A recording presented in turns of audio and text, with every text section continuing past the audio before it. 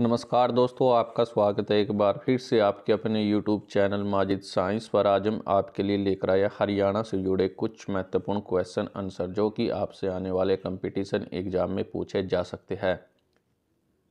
Most important question all competition exam in Haryana. तो चलिए दोस्तों, शुरू करते हैं फटाफट। दोस्तों, आज का हमारा फ़र्स्ट क्वेश्चन है, Haryana renewable energy development agency की स्थापना कब हुई थी?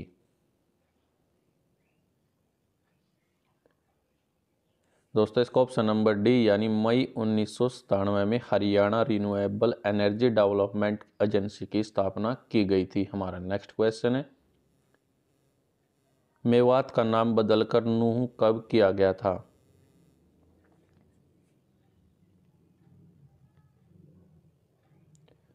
दोस्तों, इसका ऑप्शन नंबर ए यानी 12 अप्रैल 2016 को मेवात का नाम बदलकर नूह कर दिया गया था।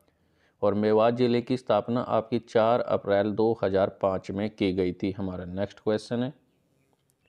हरियाणा की ग्रामीण मृत्यु दर कितनी है? दोस्तों, इसका ऑप्शन नंबर बी यानी 6.7 परसेंट जो कि आपकी हरियाणा की ग्रामीण मृत्यु दर है और हरियाणा ज़िले की स्थापना आपकी एक नवंबर उन्नीस सौ छियासठ को हुई थी। हमारा नेक्स्ट क्वेश्चन है। धर्म के आधार पर हरियाणा में हिंदू जनसंख्या कितनी है?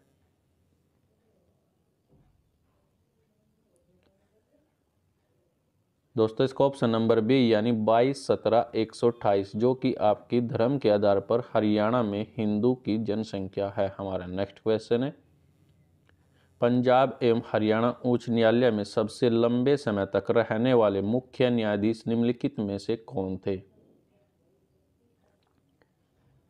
दोस्तों, इसका ऑप्शन नंबर बी यानी अमरनाथ भंडारी, जो कि आपके पंजाब एवं हरियाणा उच्च न्यायालय में सबसे लंबे समय तक रहने वाले मुख्य न्यायाधीश थे। हमारा नेक्स्ट क्वेश्चन है। हरियाणा में तीसरी बार राष्ट्रपति शासन कब लागू किया गया था?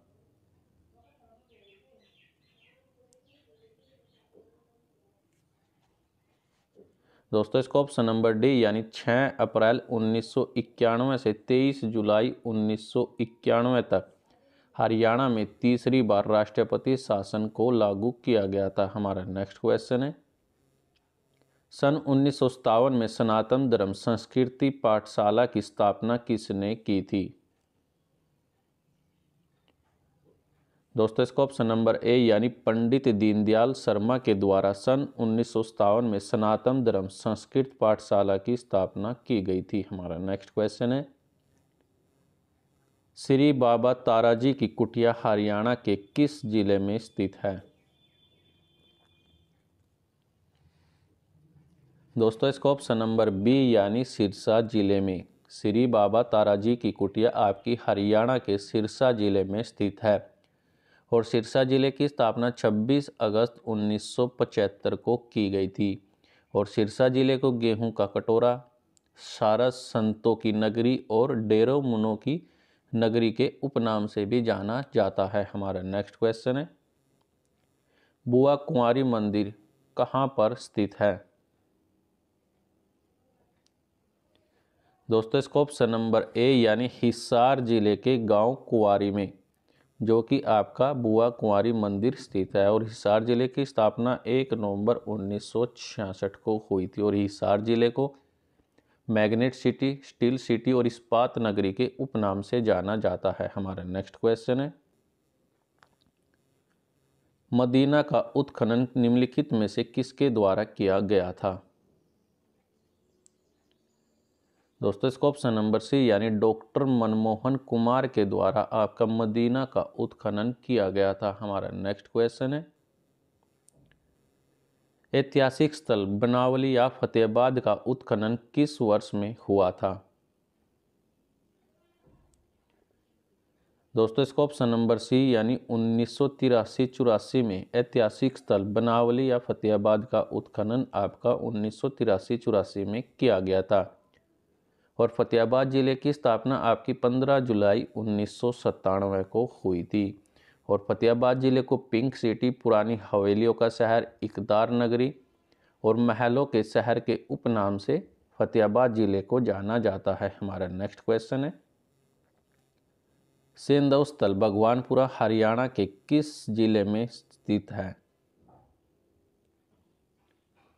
दोस्तों, इसको ऑप्शन नंबर डी यानी कुरुक्षेत्र ज़िले में, जो कि आपका सेंदव स्थल भगवानपुरा, हरियाणा के कुरुक्षेत्र ज़िले में स्थित है।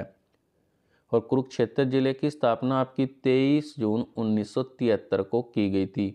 और कुरुक्षेत्र ज़िले को धर्मनगरी, सिटी ऑफ़ पार्क तीर्थराज और श्रीकंठ जनपद के उपनाम से कुरुक्षेत्र ज़िले को पहचाना जाता है। हमारा नेक्स्ट क्वेश्चन है राज्य में centre for excellence for vegetables निम्नलिखित में से कहाँ स्थित है?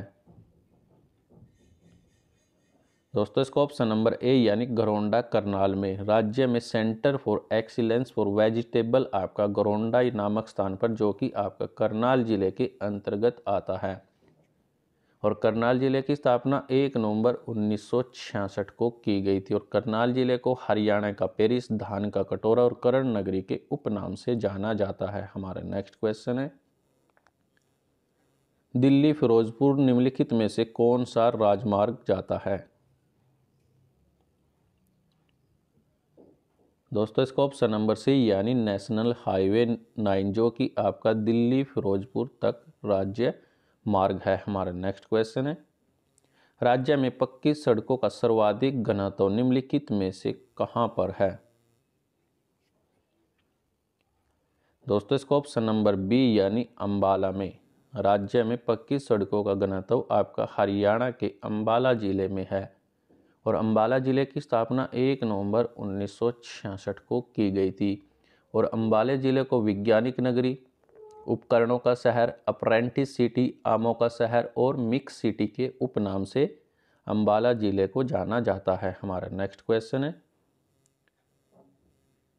ब्राह्मण समाचार का प्रकाशन कहाँ से किया गया था?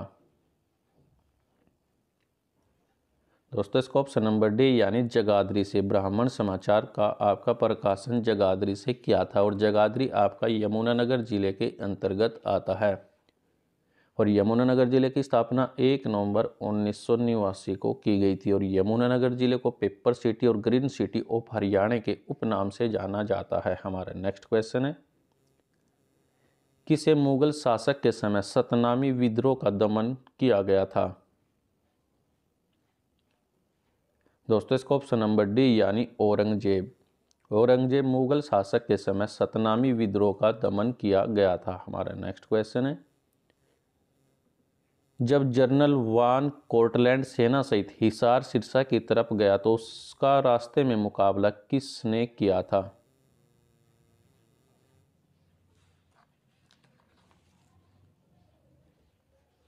दोस्तों, इसका ऑप्शन नंबर ए यानी नूर मोहम्मद खां के द्वारा जब जनरल वान कोर्टलैंड सेना सहित हिसार सिरसा की तरफ़ गया तो उसका रास्ते में मुकाबला नूर मोहम्मद ने किया था। हमारा नेक्स्ट क्वेश्चन है। पश्चिमी विक्षोभ के कारण हरियाणा के किस ऋतु में वर्षा होती है? दोस्तों, इसका ऑप्शन नंबर डी यानी शीत ऋतु में। पश्चिमी विक्षोभों के कारण आपकी हरियाणा में शीत ऋतु में वर्षा होती है। हमारा नेक्स्ट क्वेश्चन है, सिरसा ज़िले में कौन सी मिट्टी पाई जाती है?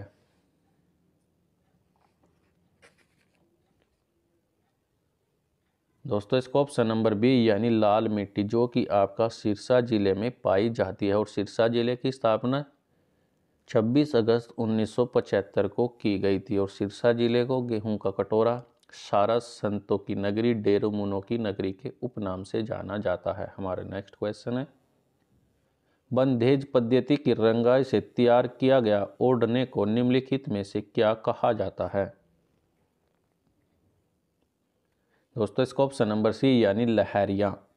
बंधेज पद्धति की रंगाई से तैयार किया गया ओढ़ना आपका लहरिया कहलाता है। हमारा नेक्स्ट क्वेश्चन है। पांडु मेला निम्नलिखित में से कहाँ पर लगता है? दोस्तों, इसका ऑप्शन नंबर ए यानी पपहाना असंध में, जो कि आपका पांडु मेला का लगाया जाता है। हमारा नेक्स्ट क्वेश्चन है। कनुवा का मेला कहाँ पर आयोजित किया जाता है? दोस्तों, इसको ऑप्शन नंबर डी यानी गाठोता में, जो कि आपका कनुवाका का मेला आयोजित किया जाता है। हमारा नेक्स्ट क्वेश्चन है। बाबा नरसंत दास के मेले का आयोजन किस महीने में किया जाता है? दोस्तों, इसका ऑप्शन नंबर बी यानी फाल्गुन में बाबा नरसंतदास के मेले का आयोजन आपका फाल्गुन महीने में किया जाता है। हमारा नेक्स्ट क्वेश्चन है। सेंड पाइपर पर्यटक स्थल की शुरुआत कब व कहाँ पर हुई थी?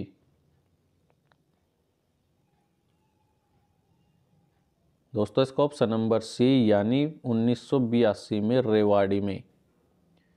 जो कि आपकी सेंड पाइपर पर्यटक स्थल की शुरुआत की गई थी। और रेवाड़ी ज़िले की स्थापना एक नवंबर उन्नीस को हुई थी।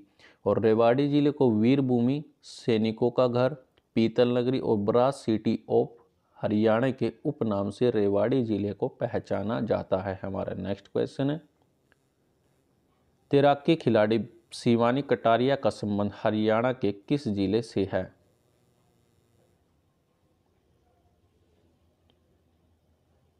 दोस्तों, इसका ऑप्शन नंबर बी यानी गुड़गांव से तैराकी खिलाड़ी शिवानी कटारिया का संबंध हरियाणा के गुड़गांव या फिर गुरुग्राम ज़िले से है।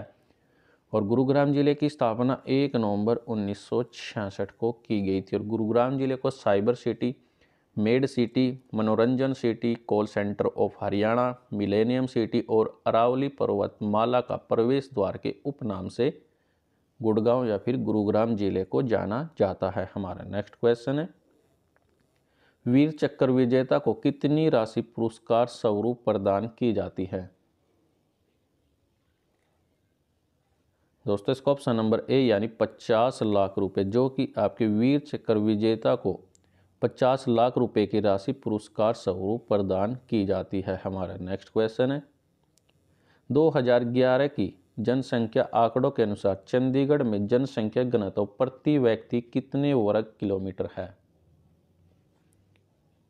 दोस्तों इसका ऑप्शन नंबर डी यानी नौ हज़ार दो सौ अट्ठावन वर्ग किलोमीटर, जो कि आपकी 2011 की जनसंख्या आंकड़ों के अनुसार चंडीगढ़ में जनसंख्या घनत्व प्रति व्यक्ति दो हज़ार नौ सौ अट्ठावन वर्ग किलोमीटर है। हमारा नेक्स्ट क्वेश्चन है, मोहम्मद गोरी ने रोहतक पर आक्रमण कब किया था?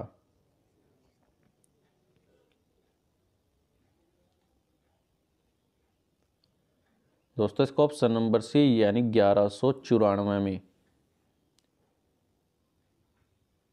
ग्यारह सौ चौरानवे में मोहम्मद गौरी ने रोहतक पर आक्रमण किया था और रोहतक ज़िले की स्थापना एक नवंबर उन्नीस सौ छियासठ को हुई थी। रोहतक ज़िले को सुगर सिटी के उपनाम से जाना जाता है। हमारा नेक्स्ट क्वेश्चन है, हरियाणा का पंजाब में विलय कब हुआ था?